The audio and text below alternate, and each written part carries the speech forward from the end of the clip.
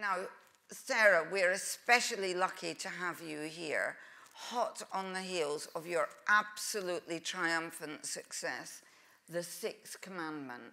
And as many of you will know, it was described in The Guardian by Lucy Mangan as immaculate a piece of TV, as you will see. I agree, I think it should win every award going, but it's an it's a really hard story yeah. about a, a, vile murderer, Ben Field, who uh, befriended and pretended to be in love with a very elderly man, um, Peter Farquhar, and um, a woman, Anne Moore Martin. And I, I just wanted to ask you, first of all, what that was like to have to get into the mind of a murderer like that, but also to, to, to feel the, the, the distress and fear of his victims? Okay, that's a really big question. Um, I think one of the things when I first got involved with this uh, project, um, and Brian Woods, the executive producer of True Vision, had was one of the execs on this, and Brian and his colleagues had made a documentary called, for the Channel 4 series, Catching a Killer. And this documentary was called Diary from the Grave. And it was about Thames Valley Police's major crime department investigating this. It was a two-year investigation into Ben Field. And Brian had made this incredible documentary. And um, so I, I'd watched that. And when I watched that and started to look at some of the preliminary research. And it's interesting, this whole thing about getting into the mind of a killer, because what I, I knew what I didn't want to do from the very, very start was I didn't want to do what I think some true crime is, is guilty of, and a lot of fictionalized crime is very guilty of, which is glamorizing the killer.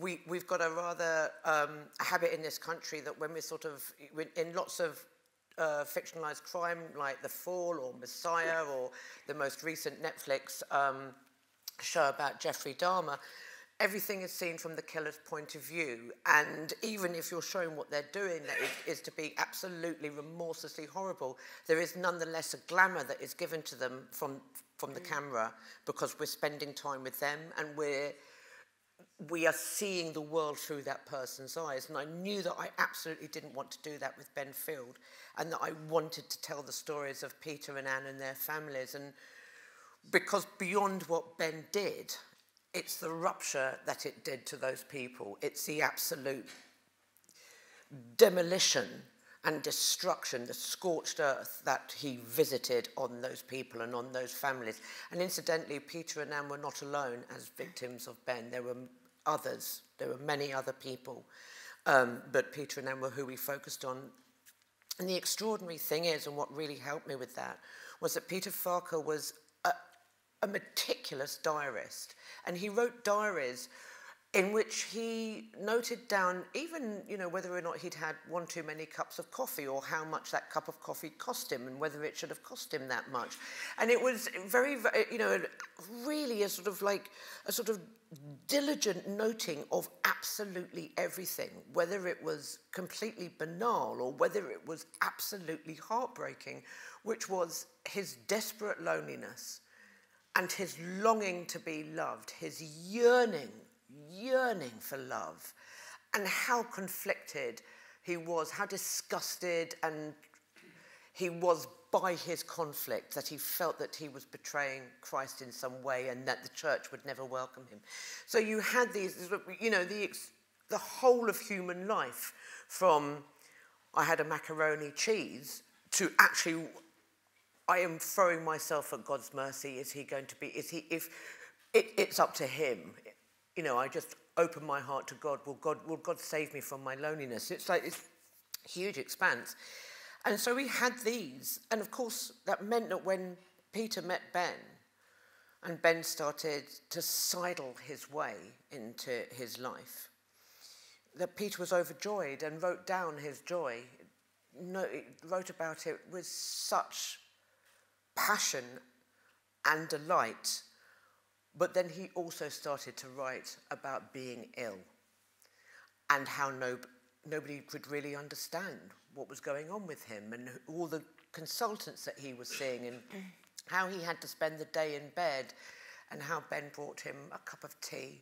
What would I do without him taking such good care of me? I love him so much. And when you read these things, it's devastating to read. And I had a huge amount of research material, all of the diaries, a two-year police investigation, which was multi-agency and with, you know, toxicology, pharmacology, sort of, you know, di forensic digital um, investigations. It was, you know, a huge amount. I mean, it, I have it locked up in a massive chest just to sort of keep it in control. And and you could find yourself spinning out in a little way, and you could almost find yourself thinking, well, maybe that's a story, maybe that's a story. But what really helped me keep in mind what the story was, was Peter's diaries and meeting and interviewing and spending time with Peter's family and Ann Moore-Martin's family and her niece, who had basically said, this is not right, something is happening, I want something done. And she triggered the police investigation. So it was always about centering that story, even when what I was reading was so horrible that it genuinely gave me nightmares, even then it was about bringing it back every time and earthing it in what was really, really important, and that was the love and courage of those families to stay on their feet and see this investigation and this court case through. And that was what, because Ben, what Ben had offered all of his victims was a version of love. And he looked like the answer to their prayers. I mean, genuinely, he was the answer to Peter's prayer. To sort of to doubt Ben would have been to have doubted God, surely. And he looked like the answer to Anne's prayers with his understanding of sort of like, you know, late medieval romance poetry and, you know, metaphysical poetry and George Herbert and John Donne. And he could seduce him He seduced the sort of church, the, the Church of England. He he was on the way to becoming ordained. He seduced everybody, but all of it was this thin, mean, tawdry, nasty, sour version of love because all of it was about what he could get, all of it was about power.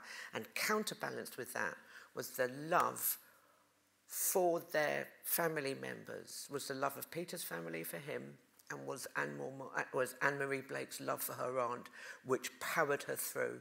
And so it was keeping that at the forefront all the time. Because Ben, really, he's a, you know, a narcissistic psychopath. That's what he mm. is.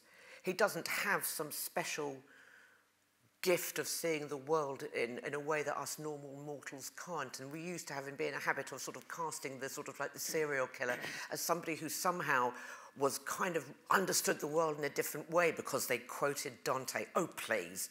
So, and it was what he really is. He's a squalid, horrible, power-crazed little man. He's doing 27 years and he'll do every day of it, I certainly hope. But I wanted to put him in his box and I wanted to let the love and the courage and the diligence of the police officers and the, and the barristers, but that love and courage of the family, I wanted that to blaze. How, Sorry, that was a very long answer. Well, I, well, Sorry. It was a great answer. And how important was it to you to highlight the role of that strong young woman who was the person who unearthed these crimes despite uh, being undermined? I, th I, think what it was, it, I mean, I was very aware that this was a really dark story. And when you, you kind of think that there is a danger that you could be swamped by it and that, that there would be nothing at the other end for an audience. And I think that if you're going to take, if you're going to take an audience to some dark places, they have to trust you. That you're not just going there for a gratuitous reason, that there is something, there is something important.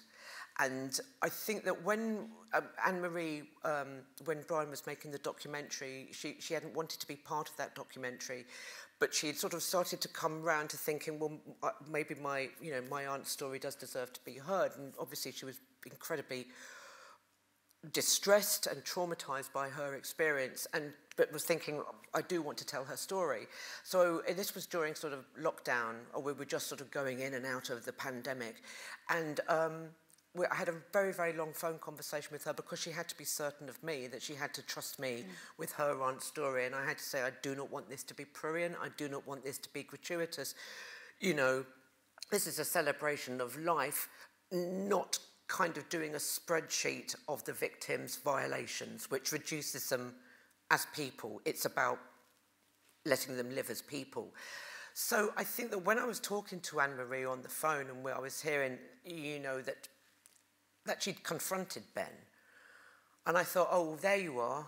There you are with your lantern. It's almost a, an image, you know, in the darkness. There's someone with a lantern held high, illuminating and kind of holding that, no, this is where it stops. And that was the image I had for Anne Marie, and I thought, there she is with her lantern held high. She loved her aunt. She was absolutely devoted to her. They had an incredibly close relationship, but even despite that, work, children, family, you know, he still found places to mm. scuttle in. And I think that, you know, a young woman teaching, building her career, raising her children, being married, trying to get the bathroom grouted, trying to do this, trying to do that. That there's a, there's a real every woman quality to her. Mm. And then there's that blazing courage which has her go face to face with him and say, do you think you're in love with my aunt? Did you get her to change her will? Can you imagine the courage that takes to stare mm. that man down? So it was really important that that was a sort of thing that even when, when you could feel the audience going, I don't know if I can do this much longer, here she comes. And it, that was, it was really, that was really vital. The, la the lantern bearer, the light bearer, that's what you need in those kind of stories. And I've noticed, because I've watched a lot of your work, that you like a woman with blazing courage. That's I like a woman. I like a woman with with a with a with a. I think it's bloody mindedness. I think I like. I think I, I can't imagine why I should like that. but yeah, there's a kind of and an obstinacy and a defiance and an, obst and an obstinacy and a, and but Anne Marie's courage is is, is quite exceptional. Is I, I think that she was very very brave and I was very glad that she well that we had this huge conversation and then you know, that she trusted me to tell the story and, and obviously when you're working very closely with um, families who have been through something like that, it's really, it's really important to make sure that nothing comes as a surprise to them and that you don't, they, they never feel like they've lost agency over this thing that happened to them, that they can trust that you're doing the right thing, not just by them, but by their experience and also by their loved one. And uh, so Brian and I would spend a lot of time sort of like take, talking families families through e each scene. In this scene, this happens, and this character says this, and this character says this. And um, when we were doing that with Anne Marie and talking her through all the scenes, and sometimes I'd act it out with, and th then you know that's why I never took to the stage because. Mm. But when but we were, when I describe it, and some she'd go like, sometimes I think like, if she says she doesn't want this to happen, I'll take it out. But I do describe a scene, she go, oh God, it's like you were there, and it and it just you know, I think by then I was so deep into the story and deep into the people that we'd interviewed and into their lives that sometimes the characters and the writing takes over. It's almost as though you're not actively wow. thinking about it. That's a great tribute to you. And, and I have to say that when you talk about um, showing such respect for people involved in tragic stories, Hmm. I work in television mm. as well, and that is not the norm in a very male-dominated industry. And also something I really admired in the Sixth Commandment was that lack of um, prurient sex. And, and do you think, uh, was that connected to the fact that you're a woman? Not everything is to do with the fact that we're women, but well, I think the issue is is that um, I mean, if I'd have had ten, the ten hours that Netflix routinely dishes out, I still wouldn't have been able to tell the entirety of that story. And Ben Ben Field, um, in in terms of how he liked to control and dominate people, um, had sex with a lot of people and had sexual relationships with a lot of people, men and women, old and young. And I just felt that in terms of his relationships with Peter and Anne, that it would add nothing to the story. We knew that he, uh, he and Peter shared a bed, that they were intimate but celibate because of Peter's religious, you know, Peter's religious faith. But nobody needs, I, it would only have caused distress to the family. I think it would have caused distress to the audience. It would have caused distress for me because as far as I'm concerned, what was happening in some of Ben's other relationships, he had drugged those people, and if he was having us performing sexual acts on them or with them, then as far as I'm concerned, there's no consent there, and I've got no interest in mm. showing that on the TV. We know it's happened. I can hint at things, and the audience can follow with their mind. We don't need to follow it there because it's it's. I think that's at the point where people can no longer see anything but that. And there is a lot more that I need people to see about this story and about these characters. There's a lot more. I don't want things to be reduced and I don't want thing I don't want a whole person's life to be summed up in a really a shocking sort of sexual crime. I, I, I think that, you know, I don't want, it's, it feels, it would have felt prurient, gratuitous and reductive, and I wanted these people to sing and not be shut up. Well, I, I have to say, I think that's most admirable, and I wish that many male uh, screenwriters would take yeah, the some same of, some attitude. Of them have, some of them have, do have exactly the same attitude, and it's. I think that one of, I mean, we have changed a lot. I mean, when I was first starting out in TV, there used to be a show on called Messiah, and it was a show with Ken Stott, and it was all kind of like serial killers, and it was very schlocky, and it was very kind of dark and oh my God, this man, you know, this killer has some incredible insight into the way humanity behaves. And there was a lot of sort of um, gratuitous shots of uh, brutalized female victims and things like that. And that was in the sort of about 2003, 2004, because I can remember being really furious that um, I'd been told that I couldn't say a rude word on page 10 of one of my scripts. And I was, because it fell before the watershed, and I was really livid because in Messiah there'd been a shot of, a very lingering, gratuitous shot of um, two murdered young women, sort of. And I just, well, why are we allowed to see that, yeah. but I'm not allowed to say, you know, I'm I'm being polite. Um, it might not stay like that. And I can remember being really angry about that. But that, but I, I do think the culture has changed, and I do think it's changing, and I think people are much more aware of that. I think sometimes with something like the Dahmer show, um, it, that was how it was commissioned. I don't know if it's really hit the way they thought it might hit, mm. which was it be like a kind of cultish thing. I don't know that's happened. I think I kind of hope that what the Sixth Commandment has done is said there's a way to tell these stories a better way, which allows, which allows the victims to have their lives back before they were ripped away from them, and the fullness of their life, the full complexity of their lives. Well, I hope so, because I think it's a very significant piece of work. Thank you. But now I would like to take you from such horror to somewhere wonderful here and uh, New Hall. Now, yeah. what's interesting, first of all, is your mother came sure. here. Now, many people, like my daughter sitting there, might go, Well, my mother went there, so I'm definitely not going there. So, how did you come to go to New Hall? Okay. Strap in. It's something of a tale. So, um, I can remember being very little and my mum bringing me to Cambridge, and I think it was for Dame Rosemary's Memorial. Yeah, Mrs. Clover. Mrs. Clover's Memorial. And I can remember being very little, and chiefly I mainly remember it because I was allowed to have some sherbet lemons on the train home, which is, you know, I was that sort of girl. But I can remember being in the, in, in sort of around about the, you know, in the centre of Cambridge, and sort of, it didn't really impact so much upon me, but I remember a conversation over my head, which was of somebody saying to you, and is she going to come here? And I was tiny. and I don't know what was said after that because I was way too invested in the sherbet lemons. But it was, um, I was always very, you know, when you're sort of starting to sort of like look around, read books, sort of Brideshead Revisited and books about people going to university and doing this. And I really, really loved those A.S. Byatt books, you know, the Frederica Potter books. And that just made it sound so exciting. But here's the thing. unfortunately, uh, school and me didn't quite gel. And I was extremely naughty at school um, in my, you know, when I went up to comp. I was extremely naughty and caused my parents no end of grief. And I basically ended up uh, being leaving leaving that school at 15 and going to sort of like a crammer just to sort of keep me there so I could do my O levels.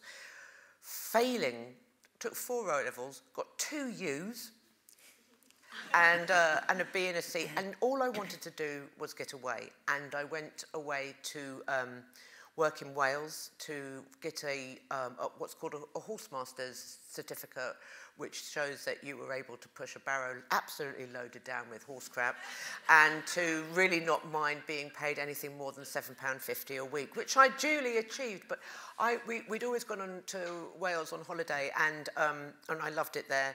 And I was also totally in love with Under Milk Wood and I really, we'd always had a brilliant time in Wales and I just wanted to go there and ride horses and be away from, I don't know, my town, I suppose.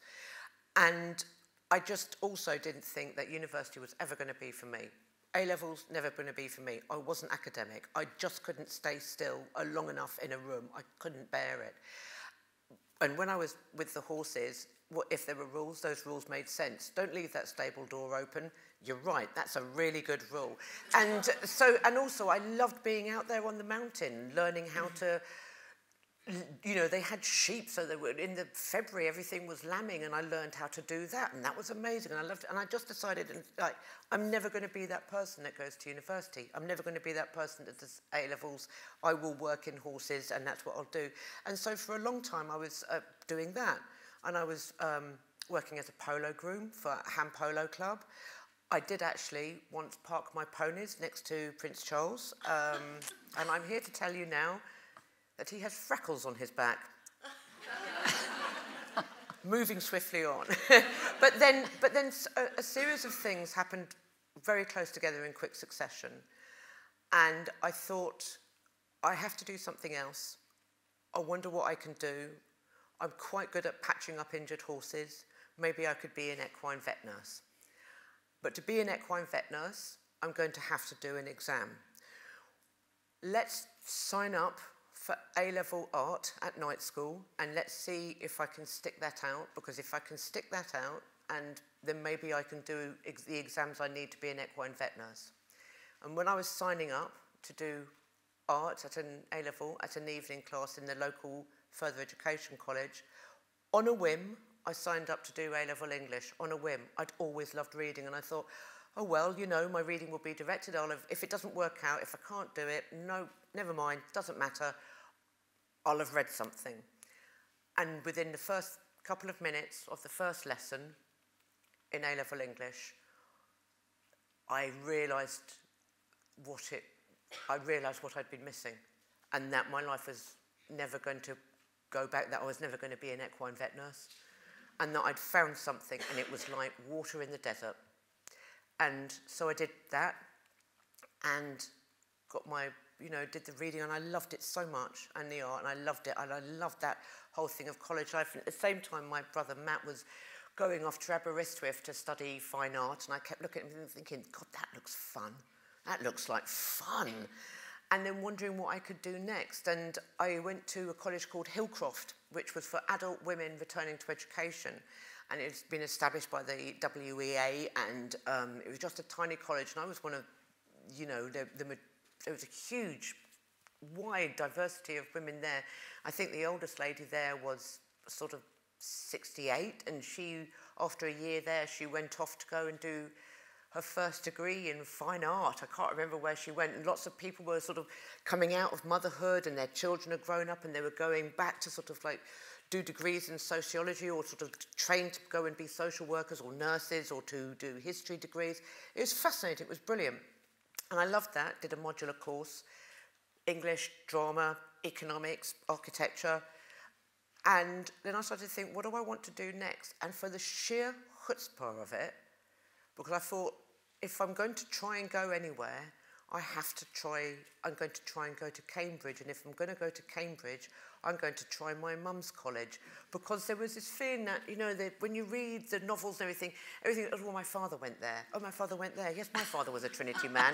Grandfather was too. And I thought, if that's the case, well, I'm going to go, I'm going to go the, the, the mum route. My mum went to New Hall. I'm going to apply to New Hall. And so I applied to New Hall. I must have written a really good begging letter. I came and sat, I didn't, obviously I didn't have the matriculation requirements in no way.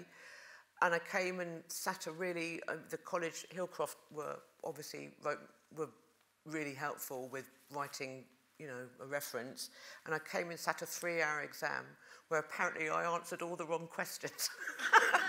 but I got an offer and I was astonishing to me. It was astonishing to me. And it never stops being astonishing. And I'm, I can't be alone in the room where there's a certain smell round about late September, early October, where you go, oh, beginning of the new term, okay. And it's just, it, it's a real pull on the heart, and it's a little kind of like flutter in the blood, where you just, it's a smell of riding down to the, you know, to Sidgwick or along the backs or something like that, it's autumn now and it's nice, but in a minute it's going to get really cold, and there's no cold like Cambridge. there really isn't. And you go like, oh yeah, yeah, God, that's really gets deep into your bones. So yeah, I came here, and, and it was amazing. And the college itself, how did that help and support you and nurture and encourage you, do you well, think? I, th- I think when I arrived, I mean, like I'd come with all the braggadocio of the fully un- uninformed and, you know, like fully giving it lots of swagger. And then suddenly I had this crash and I thought, I don't have a clue what I'm doing. I really don't. I haven't, I don't know how to write an essay. I have made a terrible, terrible, terrible mistake. And I went and saw my director of study, who was um, director of study, Dr. Kate Pretty. And, um, and I sort of bleating and moaning. She was fascinating. She kept this artifact on her, on her desk because she was archaeology and anthropology. And any time you just got a little bit sort of self-involved or, or bored her, which was frankly often, and she'd say, and she'd pick up this artifact and go, "What do you think this is?" And you'd look at it, and you'd go, it was like a shaped like a spearhead, and you'd go, "My God, I don't know. Is it onyx or is it this?" And she was like, "It's a marmite jar." And it had been found and fashioned, and somebody had fashioned to use it as a blade, and it was a bit, it was a bit of old Marmite glass, or Vegemite glass rather, because it was, it had come from Australia. And I'd said to her, look, I, thanks and all, but I am, I don't know what I'm doing, and I think I've made a mistake. And she just sort of gave me this really glaucous look over her spectacles and says, nobody knows what they're doing. Nobody knows what you're doing. You haven't made a mistake. You're not here as an act of charity. We're not charitable. I'm not charitable. and, and it was basically an absolutely no quarter given. I, thought, I thought I was going to get some sympathy. And it just like, no. And she just said, and the thing that she said, which really stuck with me, she said, we don't want a homogenous student body. We don't want everybody to be the same.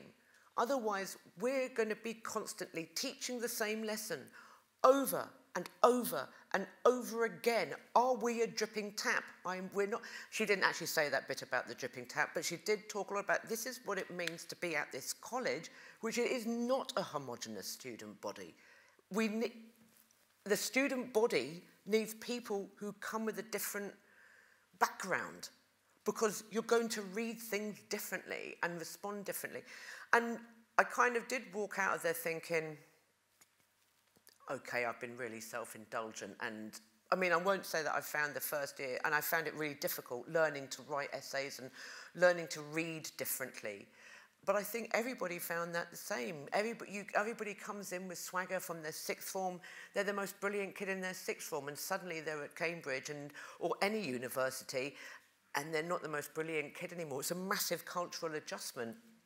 But uh, the thing that I never got over, sorry, Dorothy, I'm just blathering, but the thing that I never got over, and it amazed me, and I had this. Um, I, had the, I, I was doing um, doing some Dante because I really loved him, and we were doing the Vita Nuova, and there's this really amazing we had this really amazing supervisor called Dr. Robin Kirkpatrick at Robinson's, and his room was chaos.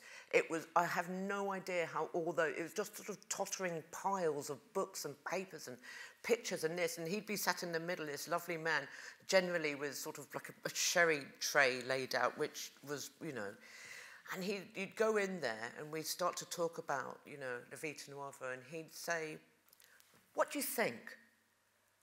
And you go, this is your life's work. Your absolute life's work. And you're asking all these callow, idiotic children, what do you think? With genuine interest. And I kept thinking, this is the most, what an astonishing thing. What an astonishing gift and a privilege that you walk into a room and somebody who knows this stuff backwards, knows Chaucer and Shakespeare and Gawain in the Green Knight and Flannery O'Connor and Aeschylus backwards. And they say, what do you think? It's amazing. It's amazing. I never, I never got over that, the sort of charge of being asked. And then actually found, finding that I did actually think something. I did actually think something about, you know, all of this. That was the surprise. It never stopped being a surprise. It never stopped being a delight. It felt like being, three years I felt like I was high. It was amazing. And in what way did you think it was different and good or bad that this is a this was a women's college did that make a difference well interestingly enough the thing was I'm, I'm sure this has changed now but when um, when I was came in 1989 there would be quite a lot of girls who had really wanted to go to sort of John's or Trinity and and and had sort of ended up in New Hall by the by the pool and were sort of like quite kind of but I wanted to meet boys we're still going to meet boys. I mean, like, you know, come on. But I think that's changed, but you could see, you could see that changing a little bit. And I did think, I mean, I'm sure it's, the culture has changed a lot. But when I would be in mixed supervision, sometimes with um, people from Trinity or King's, and sort of a lot of the time guys from Trinity and King's, Christ almighty, they made a lot of noise. They talked a lot. And I can remember one guy from Trinity banging on and on and on about the sort of like, you know, the, the, the uh, uh, uh Prince Hal's probity in Henry IV 1 and 2, and there's finally the supervisor and the, the, saying very gently, I don't think probity means what you think it means. and watching this guy go,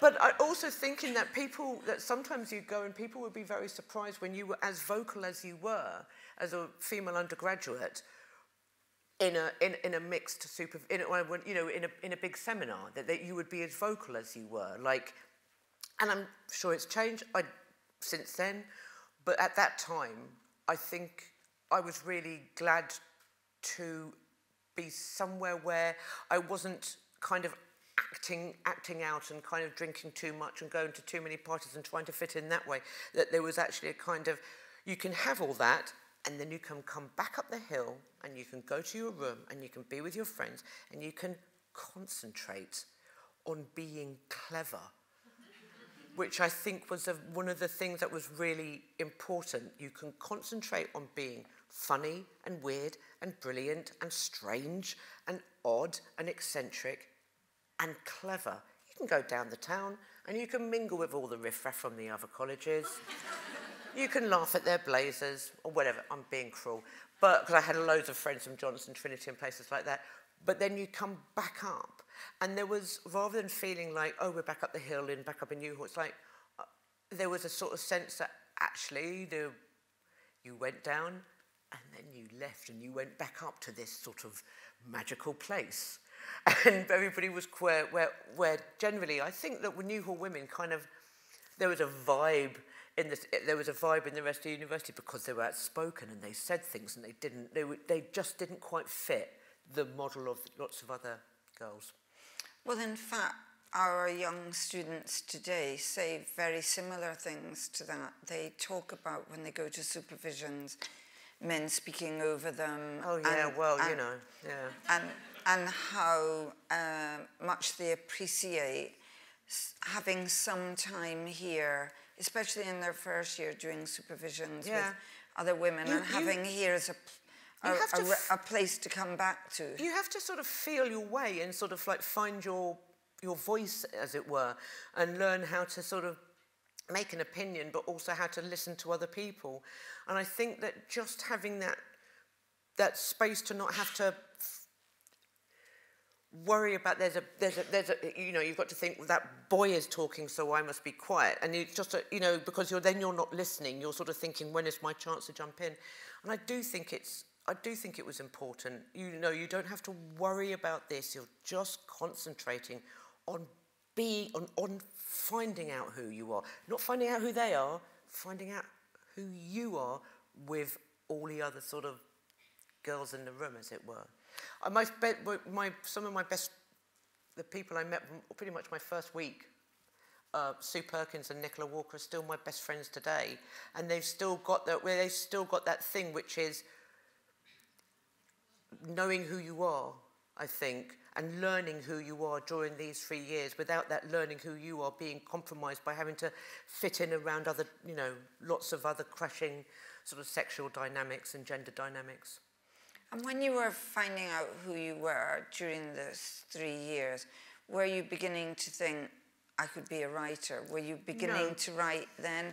So how did the writing well, uh, well, and the uh, confidence to I, do that oh, begin? Oh, well, here, well, so I really wanted to be. Um, I really thought I'd be an amazing actor. I thought I'd be. I thought I was what the stage and screen was waiting for. It's just like, who is that? She's one of the finest talents in the home counties. Oh, that. Oh, it's but I was in a show, um, and we'd been in Edinburgh, and it came down and did a couple of nights in Battersea Arts Centre.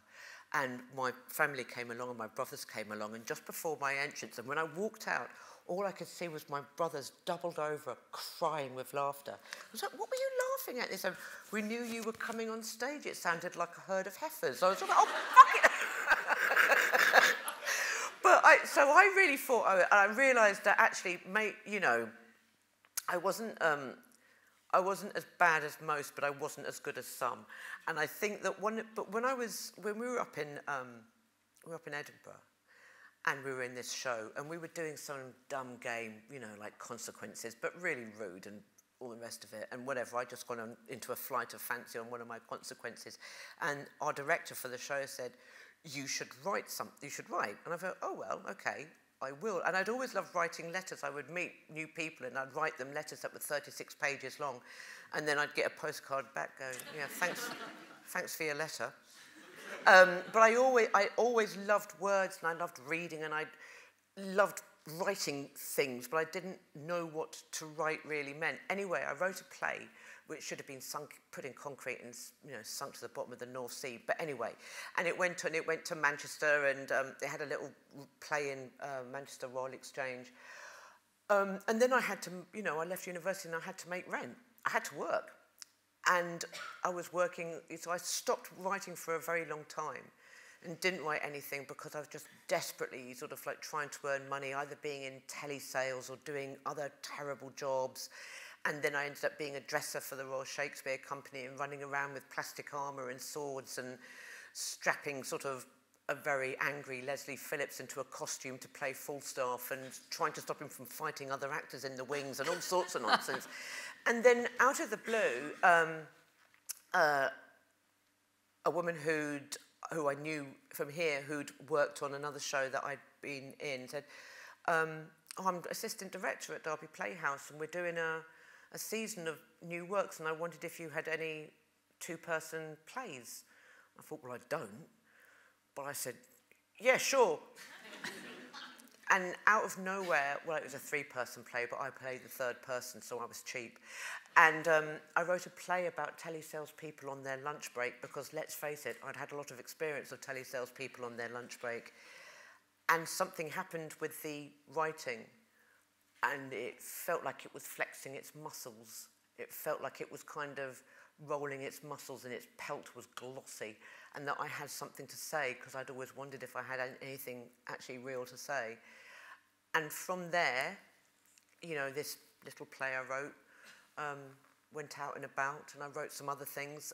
And from there, but I got a job working on the small but mighty World Service soap opera, Westway, which meant that I could it paid no money, but it did mean that I could leave my job as a dresser and stop running around with plastic helmets and sort of velvet trouserines and write this little show.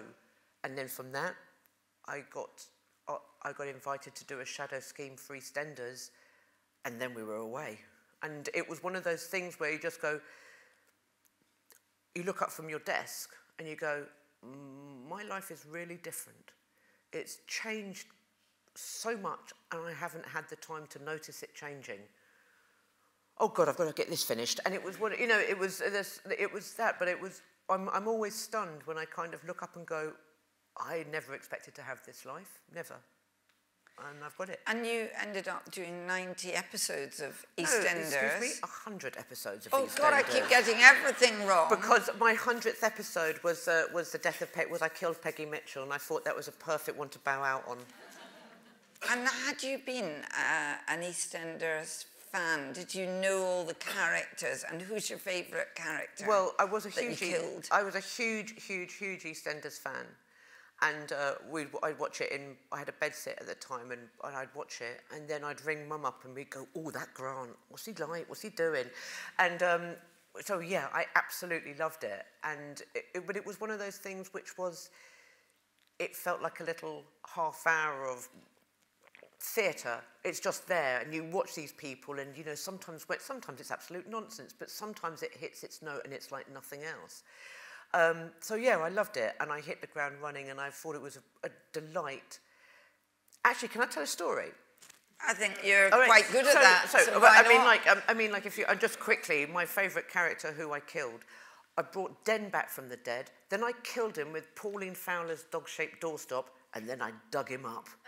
so, um, what a job for a woman.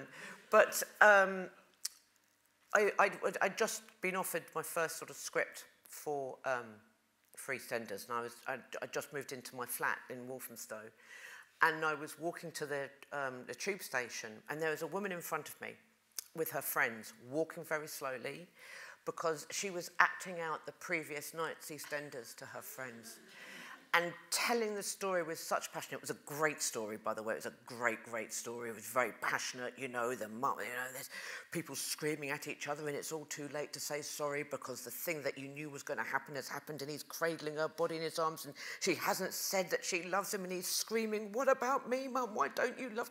And the woman was acting this out and it was rush hour on Hoe Street in Walthamstow. Rush hour. There's all the school kids coming out of McDonald's, there's all the buses, there's all the traffic, there's so much going on. It's, and she was standing in the road, acting it out, and her friends were agog with their hands to their face.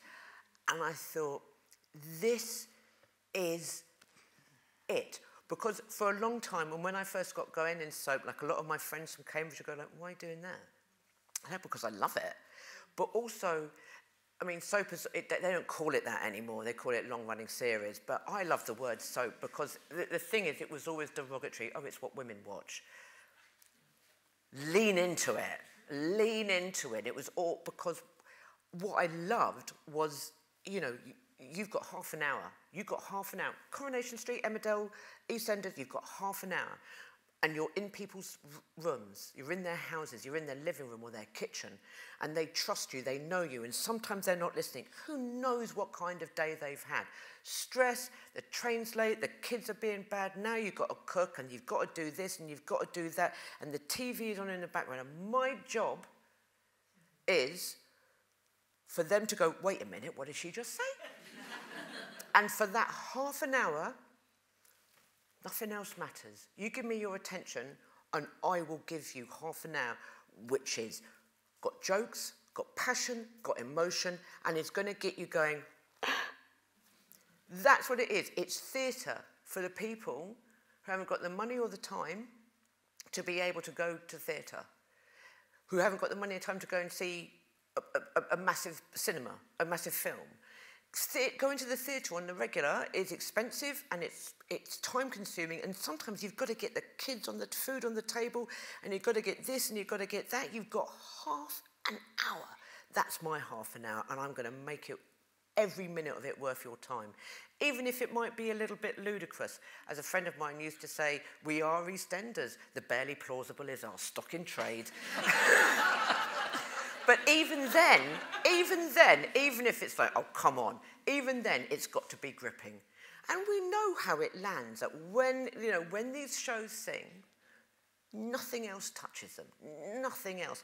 Sometimes you can just get you, they can be in mired and absolute nonsense for 18 months at a time, and I can be beating my head against the wall thinking, come on, and then you get a story, and, people, and then you remember the power of them, how people respond to the characters they've been watching for 30 years of their life, characters they've watched grow up, marked every step of the way, they know where they've come from, and now they're going to do this. Oh boy. It's and that, I love it because of that. I've got half an hour with you and nothing else is going to matter. That's my job to make you go, yeah, yeah, yeah. And to make you act it out to your friends because it was that good and it was transformatively good and you're so full of the story, you've got to tell people. And that's why I love doing it. I, I passionately love doing it. As far as I'm concerned, you look at those great soap matriarchs, towering beehives and spitting into their block mascara and strapping the fag on and going out to face all comers with their history of terrible men and even worse children and oh my goodness gracious me. You think, got to think of them like, you know, Margaret d'Anjou and Eleanor of Aquitaine marching through this, out there, thigh high in the, with the blood of their enemies, but they're wearing hair extensions. or it's like, you know, the Oresteia, it's like the, the, the Furies, but they've got nails. You know, and it, you've got to think of it in a really grand, epic way. But yeah, I absolutely, passionately love doing it. I love doing it. Anyway, and, sorry. And then when you moved on to quality drama, you know, no, I was going to say, as I'll have you know, as people I'll have you know, it, I am, I am the winner of a gold of, of a great an award called the Golden Moment, and it was came from um, an episode I wrote where just a two-hander, which was Den and Dot in the laundrette having a go at each other, which was um, you know I think had a line in it which was like Dot saying to Den, if you don't sort this out, I'm going to come back and haunt you. And he said, oh, that's all I need. You sitting at the end of my bed in your Wincey nighty, rattling your chains like Marley's bleeding ghost. I just but, uh, but, uh, but yeah, I, a golden moment, if you can believe there is an award called that.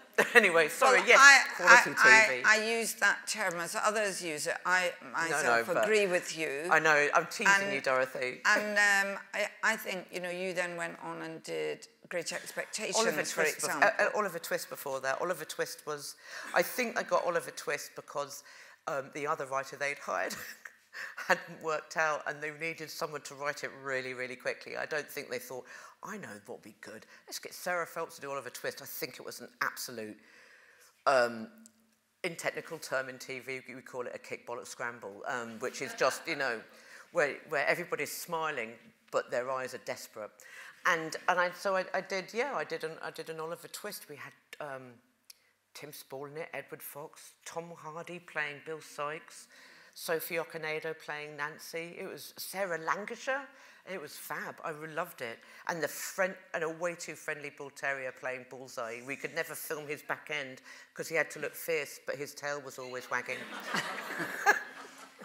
but in those works as well, you created really strong characters. And, and one of the characters I find very interesting um, is the way that you treated Miss Havisham because Miss Havisham is always treated as a pathetic, well, she's treated negative as a, she's treated person. As a, she's treated but as how a grotesque. do you see her?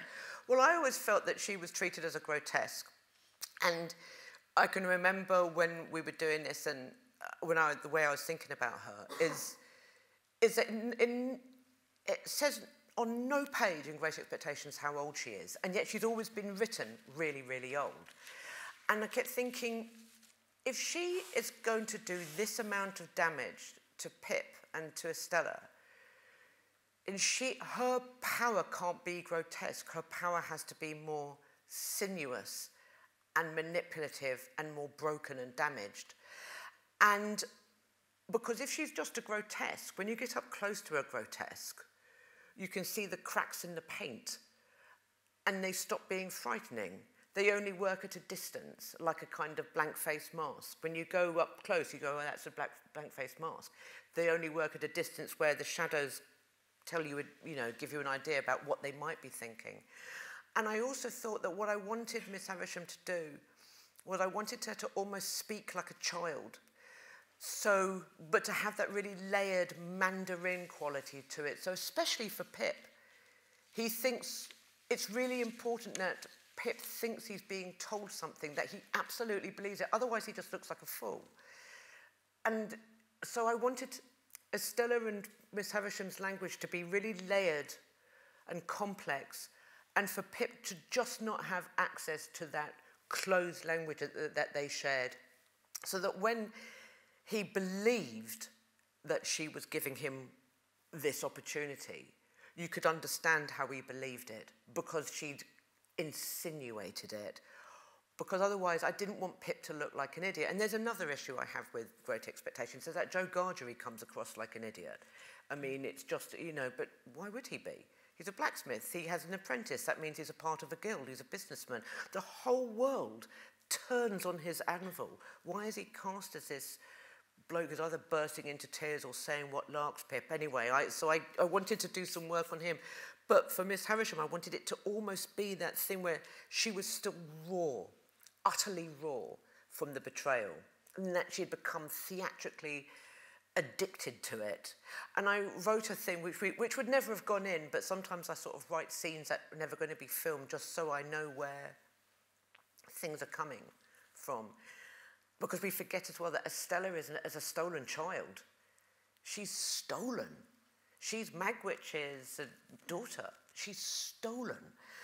And I had this image in my head and I wrote it down as a way of just sort of, so I could understand the, the dynamics of what went on in that house of jaggers bowling through the night in coach and four and gripped, gripping to this bundle that was struggling and just gripping it like that.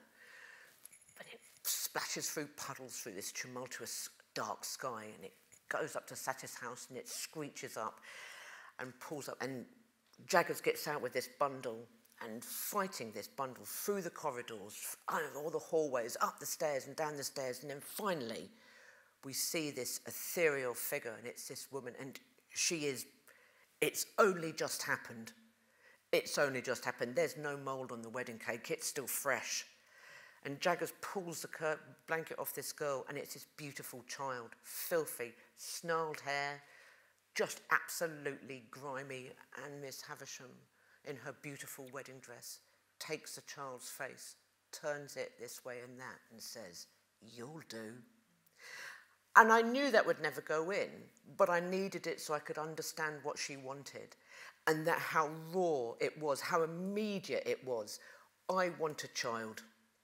So that once she hadn't had time to think about it, so that there would be some small hope of a redemption for her. Because otherwise, if she'd been 20 years thinking about this guy who chucked her, living with a load of rotting Scotch eggs, and then got Estella, then you kind of, I feel like there's a distance from the moment, from the thing which rent your heart and made you crazy. And so that when she sort of burns, your heart breaks for her.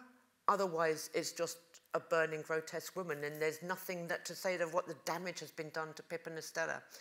Um, I was going to say something else, but I've forgotten what it is. Oh. Well, I felt that you created in Miss Havisham a strong yeah.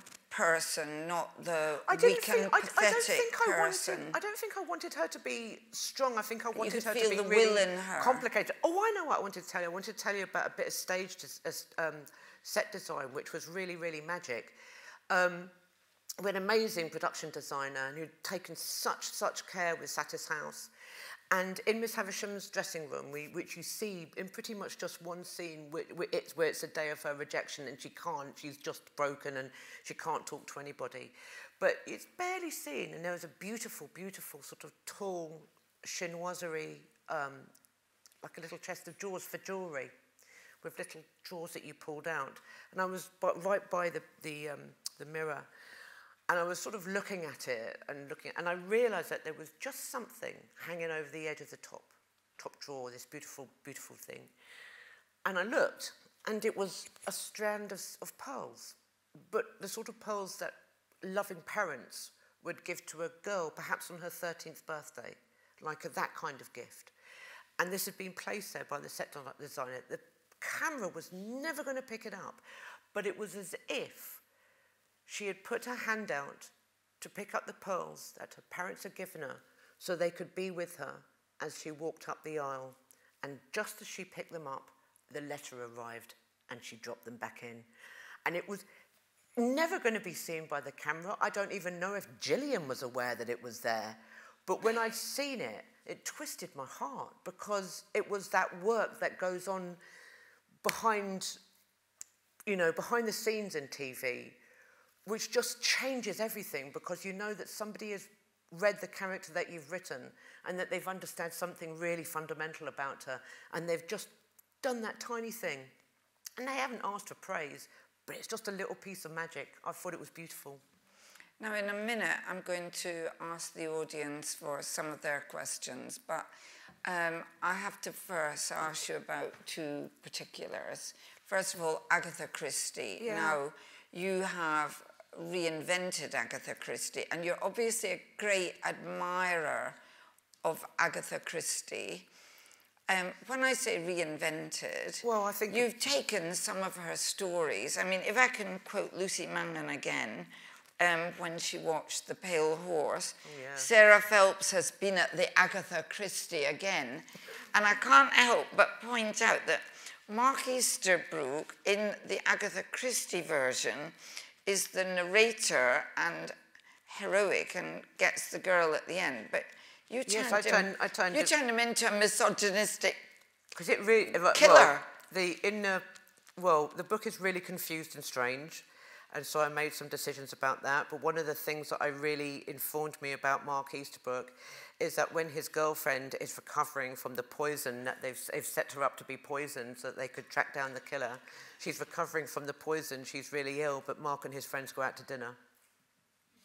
So I thought, okay, that's so my cue. turn them into and it would, but also I'd done a lot of research. I'd done a lot of reading about um, the fascination with witchcraft and the occult in the 1960s. And I'd also, to be, to be fair to Agatha, I'd kind of taken on a bit more of what she was trying to achieve with her books in the 60s, which she was aware that you know, the, the genre was kind of changing and you had Patricia Highsmith and people like that, much more amoral characters. And I think she was really struggling with kind of how to write, she wanted to write an amoral character, and you do get that in, in, in um, Endless Night. But I just thought, I'm going to borrow some of that and just help this book make a bit more sense and give it some real sinew and some drive and some punch. And to kind of rest because it, it keeps veering into something which feels dangerous and, and electric and alive. And then she pulls it back. And she did do that in my view a lot with her later novels. There's a very she's a very cloaked veiled writer especially sort of into the 40s becomes more cloaked and veiled. And there's always little flashes of i think the book she wants to write as opposed to the book she knows her readers want to read. And it feels like a real battle and it felt like a real conflict in Pale Horse. So I kind of, I kind of succumbed to the book that I thought she would was trying to write underneath the book that she thought people wanted to read, uh. which was about poison and was about hair and was about being terrified of dying. And I felt that that was a really interesting thing to write about in the 60s when everything else is burgeoning. That fear of death, that terror of death. Blimey, it's hot in here, isn't it? Have I been using up all the oxygen? so, do you think she's a more interesting uh, writer than people think? A lot of people I think, dismissed her. I think people dismiss her because she is prolific. And I think that she she she really churns them out. I mean, like my my God, you. I mean, it's extraordinary, her output. So there's a sort of sense of like, oh, it's another one, it's another one, it's another one. But I think that when you go back and when you look at them, and I think because I would, I'd really dismissed a previous and gone, I'm just not interested in doing Agatha Christie because I hadn't read one. It would, you know, before I read and then there were none. Um, was asked to read it. I hadn't read any, and I just thought I knew what she was. You know, cozy Sunday night, someone's dead on the floor, no one really cares. Lacrosse, um, I have gathered you here, mes enfants, to tell you that, and everybody sits there, no one goes, I'm out of here because you've nailed me. They just wait for the police to arrive. It's so dumb. So, um, so I, and I, I, I wasn't into it at all. And then when I read And Then There Were None, I was blown away by it. I was shocked by how remorseless it is. By, you know, there's no, there's no mercy. It is pitiless. And I thought it was subversive and I thought it had a gallows humour. I thought it was really shocking. And I thought that she had quite a sly, I thought she was being sly. She was saying, here's this nice little ludic parlour game, you know, entertain yourselves with trying to work it out. But I thought that it was an extraordinary thing to write about your, to, to write this particular story in 1939 have it published, you know, she writes very quickly, she's published very quickly. To have it published in the summer of 1939, a mere matter of months before we are about to be plunged into another world war, to say, look at your countrymen, look at your neighbours, look at the doctor, the judge, the butler, the playboy, the secretary. They're murderers. And they just live their lives. There's no mark of Cain upon their brow. They haven't been changed in any way, if they weren't here now, they'd just carry on living their lives with this curse upon them. I thought that was a startling thing to say in 1939. You can't trust any. You think you know them because they look like you and talk like you. You have no idea what seethes behind the English mask. This is what the judge does in the dark when he thinks he can get away with it. That's what she's saying. And were, I was talking to um, somebody about the murder of Roger Ackroyd, and and I, what's it, oh, and I said the whole point about the murder of Roger Ackroyd is a, it's a, it's a very long suicide note. Can you imagine anything more shocking? And it's a doctor. She was a dispensing chemist for the entirety of World War One, where she was a VAD. She, I imagine her looking at the looking at humanity and the experience of human beings coming out of the sort of bullish 19th century, suddenly realizing what industrial warfare does to the human brain and the human body, and seeing it through the prism of, of the grain of difference that means a man dies or a man lives, because that's what you're measuring that medicine out in. You're measuring it in grains. And that it's everything is balanced upon a pinhead with her. Everything. This is the moment you strayed from the path, and now this is where you end up. So I always wanted to honour that. And some of her earlier short stories are profoundly shocking about shell shock, about cruelty and duplicity, about family dynamics. And I think as she goes through her life and becomes more and more successful, she's almost a victim of her own success because I think she's a, a dangerous, raw writer in her earlier years. Mm. And then she has to rein it in. But I always think there's clues. There's little alarm bells. There's little atonal moments where you go, what is that doing there? That doesn't fit. And I think they're the clues where you go, there's, some, there's another book in here. There's another book. There's a, a palimpsest of what she wants you to know. And that's what I always did. I tried to follow that. Now, you mentioned there's someone straying from the path, and one of my favourite characters that you have created, the Duchess oh. of Argyll.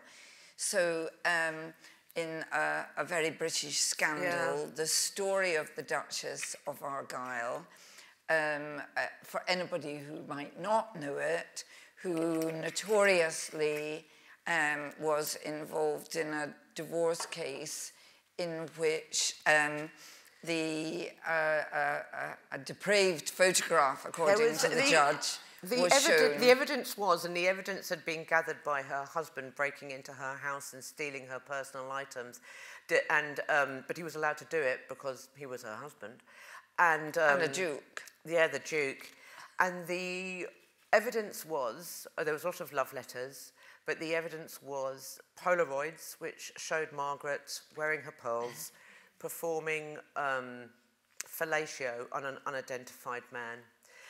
And it, so Margaret, you know, and basically this formed the basis, and it was extremely scandalous. And here's the thing: you remember I said I used to work in telesales? Well, in 1993, I was prepping. I was. We used to have to rip through all the uh, the papers and the magazines to sort of have, find things to help our pitch. And I was sitting with a guy who I was obviously terrible at this job, and I was sitting with a guy who kept my spirits up. And we were leafing through it, and he suddenly said, "Oh my God, she's dead." And I said, "Oh God, who's dead?" Can I swear? Yes. Yeah. And he said, Dirty Margaret, the blowjob duchess. I went, Who? And he said, Oh, God. he was very, very posh. He said, Oh, come on, Sarah, for God's sake. Even you must have heard of you must have heard of her. And I hadn't. And I was looking at the obituary, these two photos of her. One is a very young woman, the most beautiful, stylish, the most photographed, the most wealthy, the most talked about, the most successful woman about town. Everybody wanted to get married to her, blah, blah, blah, blah. And then her at the very end of her life, when she died penniless in a Pimlico nursing home, having, you know, lost everything, with this huge black wig, like a sort of, sort of weighing down her neck, but still the pearls around her neck. And the obituary was all still about who the man was. And I thought, I don't care about the man. Who are you? Because Ian had that. He, was going, he could have ruined her. And she still went to court because she wouldn't back down and she wouldn't shut up. And I wanted to write this story because her life was complex and terrible and brutal and extraordinary things happened to her. Was she a nightmare? Probably. Who cares? but she was driven. And she, I thought that she had real courage because Ian was a terrible man. Part of that is to do with um, his experiences in the Second World War, partly because it's he's a terrible man. He was married to two other women before that, very wealthy. He treated them with a very specifically sadistic, horrible way. And he moved on to the next woman who he seduced and she gave him all her money and he ran out of her money, so he moved on to the next one and he moved on to Margaret. But Margaret fought back. She fought him back, and her weapons were meager, but my God, she used them. And she was ruined. Uh, the judge, incidentally, in that divorce case, was um, a kind of, you know, a clan relation of Ian, the Duke of Argyll's. He was, he was a clan relation through his mother, but nobody seemed to mind that. That, but you know, whether that was made him less than partial. Um, and he he gave a three, it was, a, you know, the divorce was a closed court, but when he gives the judgment, the press were allowed in because it was a really, really talked about divorce case. He could have said that he'd found in favour of the Duke, these are the damages, but he, his summing up was over three hours long, and he made it very clear to all the journalists who were in that court what those Polaroids depicted. And he talked about Margaret's promiscuity, how disgusting she was, how she was unnatural, how she was like a basically had dragged womanhood through the gutter, and her life was ruined. And I think that, but still, even after that, chin up, lipstick on, makeup on, hair impeccable, she still went out, she still made trouble, she still wound people up, she still fought back, right until the very end. And I love her for that, and I was really determined to tell her story and to give her some really good lines and to have her chasing her husband through the house with an axe. Because even if she there was a sort of rumor that she'd done it but even if she didn't get to do it in real life she should have been able to do it in her imagination. As he cowered behind a door screaming no please I'm sorry. Even for just a moment she got him to cower even if it was just an act of imagination. But I've been passionate about that story for a long time because about what it says about what the media likes to do to women, what the world likes to do to women who put their head above the parapet, what her class did to her, because she was. I wrote a scene when a friend of hers says, You've got to stop this. Because, you know, like you're dragging us down to the level of all, to the, to the level of the sort of the bloody greengrocer. You know, that we look like them, all bare asses and flapping cocks. And she said, You can't do this anymore. And I had to have, I had a, a line got caught, but I was really sad it got, got cut because I had, you know, this woman saying, you're going to drag us down to their level and it's hard enough getting staff as it is. And Margaret says, well, maybe we should be dragged down. And this other woman says, you maniac, that's socialism. And I was, like, I was so happy with that line, but they made me cut it. But it was, but what her class and how her class took Ian's side, how everyone, and how everyone lied. The people she said Ian was having an affairs with and they denied it, after the court case, they admitted it. Mm. The people who'd said that he, you know, he wasn't skimming money from her, after the court case, they all admitted it. And I just thought, I'm going to tell her story. I want, I want, and I want her to flounce away from that courtroom with her head held high and her lipstick on and her little poodle on a lead and the veil over her eyes and to walk over her own headlines. I, I was fascinated with her for a very, very long time. Well, it's absolute, for anybody who hasn't seen it, it's wonderful. Now, may I invite you, if you have any questions to... It doesn't matter if you don't, honestly. You might be scared of the 40-minute answer. Hi, does that work? Yes. Um, I'm a primary school teacher and I lead writing at our school. And I wondered if you have a tip for would-be writers who right now are aged anything from between 4 and 11.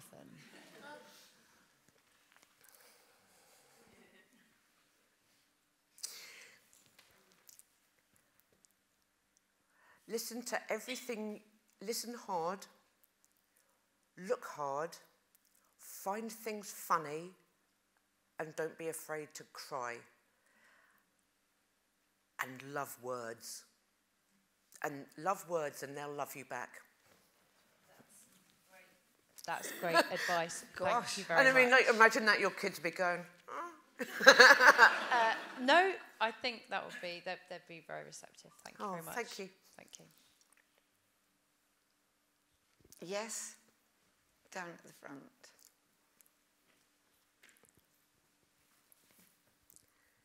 Hi, so you said something um, early on about um, keeping the research material for the sixth commandment in a chest, yeah. locked away. Yeah. And I was just wondering, you write such dark material a lot of the time. You know, a lot of it's uh, dealing with very harrowing topics. Do you have strategies to kind of box that content away to stop yourself? I think if it it's, I think when it's fictional, it's different. This was very different because it was had ha it happened to real people and to a real community, and people were, st were still feeling it. The trial um, for the Sixth Commandment, Ben Field's trial, was very recent. It was 2019, Brian. So the, it has a it has a kind of malign pulse, and there's a lot of stuff in there which you know genuinely gave me nightmares, which were, I had recurrently when we were about to um, go into transmission when it was about to go out on the BBC. So that was fun. And I just think because I have to keep all that research material in case there's any questions um, or anything comes up legally, I have to be able to refer to all my notes. But I keep it locked up and bolted away. And I just think it works. I have to have it in my study because I might need it. But it really helps to just go, you're in there now. Stay there. That's not Peter and Ann, it's him. You're in there, stay there, shut up. We've heard enough, we've heard enough from you now. Get in there. So it helps us to be able to turn a key. Interesting. Yes, here. Hello. Hello. Um, when you're writing uh, fiction based on fact um, or on real people's lives, there is the truth and then there's the emotional truth. And sometimes, you know, as, as the writer, you have to make things up for fiction, but they are based on, on you know, the, the scene you described with the axe didn't really yeah. happen, but you made it because it felt like emotional truth to you. How do you draw, how do you draw the line? Where do you draw the line? What um, is what passes and what doesn't pass? Well, interestingly enough, the, there were, in one of the books I had for the research for the Duchess of Argyll, there was a whole sequence where um, Ian had locked himself into his study and called the police because he was so scared of Margaret. Unfortunately, in that same book, there was, the writer had used some hearsay, which meant for the purposes of legal compliance, we could not therefore write the book, use the book as a, as a as a source because legal compliance is, is extremely exacting. Um, so that's why I made it an imaginative thing because then that means that I can go, even though, you know, I can say this, it happened, but it happened in here, so it wasn't so much physically. When, when do you, where do you draw the line? Well, for example, with this story, with the Sixth Commandment, the legal compliance was extremely stringent. We had to be really, really careful. Brian and myself, when we were working through it, I'd have to keep notes. I, I mean, I pretty much knew it all, had it all committed to memory just so I could write it. But so as we went through, we had to have a sort of spreadsheet for each scene. Where does this come from? Does this come from um, interviews with families? In, uh, does it come from the police investigation? Does it come from Peter's diaries? Does it come from Ben's own workbooks? Does it come from the court, uh, from the trial? Does it come from a newspaper? And then you have to basically do, here's your primary, secondary and tertiary sources. Honestly, it's, it's, it's really that involved.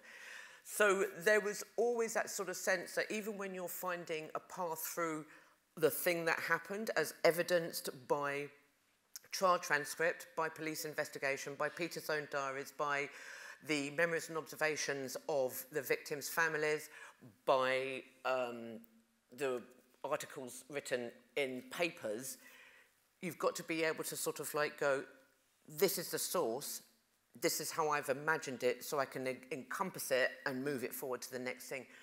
But it was incredibly stringent, and you have to always have a mind about this for editorial policy and for legal compliance that what you're doing is not gratuitous, that you have so many different checks and balances to make sure that you're uh, you're protecting everybody from reputational damage. You're not doing anything that could be seen as being defamation and that or misrepresentation even right down to the fact that in the edit you'd be watching the expressions of the actors playing real people in case they smiled at an inopportune moment, which the real person can then say, that indicates that I was feeling like this.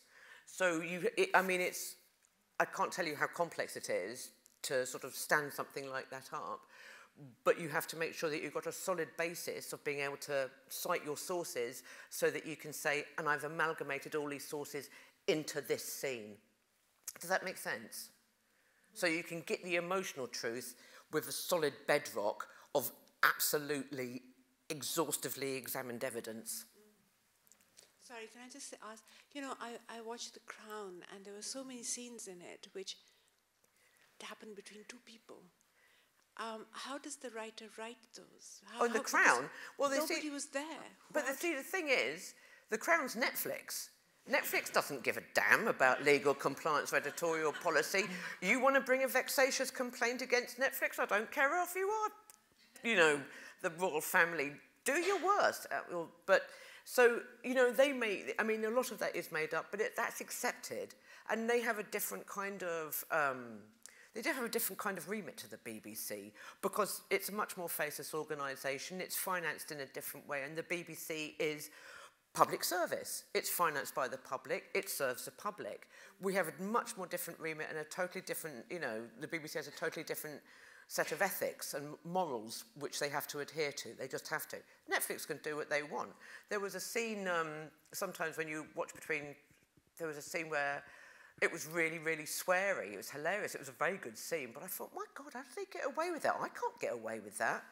I can't get away with that without have, having some legal team calling me at four o'clock in the afternoon and saying, going to have to change everything. So it's just, it's a totally different model as to how they work and how we worked with this. Thank you. And yes. With, the Sixth Commandment, what was the relationship between the timing of your screenplay and the casting?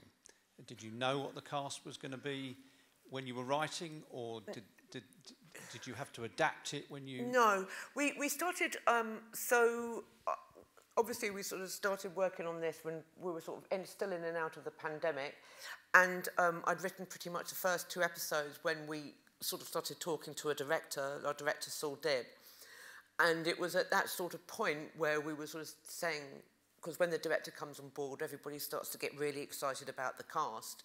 So um, so Saul had said, well, you know, who do you imagine playing Peter? And Saul had said immediately, Timothy Spall. And everyone went, oh my God, like this. So, I mean, so it wasn't adapted or anything. We, Tim had a long conversation. We emailed back and forth. Tim had lots of conversations with um, Saul. And it's really, you know, it was amazing, really. I didn't change anything. Tim just brought his just brought his magic to it. I just think it, and it's a standout performance. And when we were in the read through, he made me cry, and I never cry in read throughs because I'm always so worried about the notes that are going to come or all the things that can go wrong in a production and you know have to change this and do that. But Tim's even even in read through when everybody's sitting down in a big cold drafty room and you can barely hear anybody, Tim made me cry. He was, and I think it's an extraordinary. It, it's almost like it's not a performance. It's almost like he inhabits it. It, it was so. It was so. And he and I had an email exchange with him where I said, oh, "Come on, you must." And he said, "It scares me."